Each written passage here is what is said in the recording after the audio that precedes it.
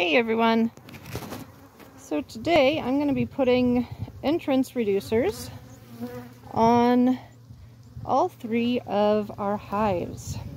It's starting to get pretty cold at night and I want to help them conserve energy the best that they can. I haven't had entrance reducers on all summer. Uh, they really haven't needed it. I haven't seen any signs of robbing which is fantastic, of course. So, these are my entrance reducers. You can see there's a side that has a really big opening, and then if we flip it over, there's a side with a little tiny opening.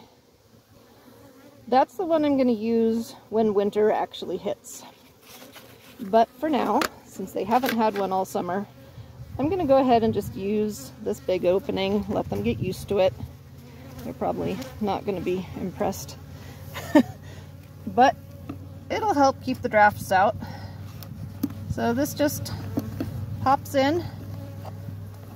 I might have to lift up that box to actually get it in there.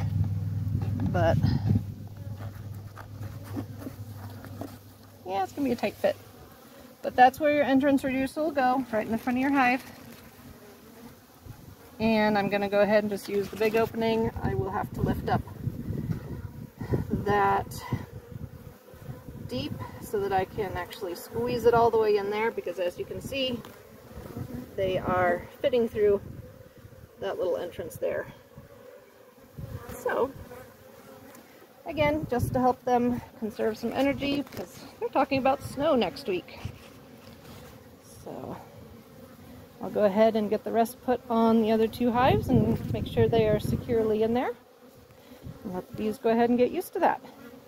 And then I will go ahead and feed everybody while I'm out here. So make sure that you subscribe and follow along for more tips and tricks on how to take care of your bees. I will see you next time.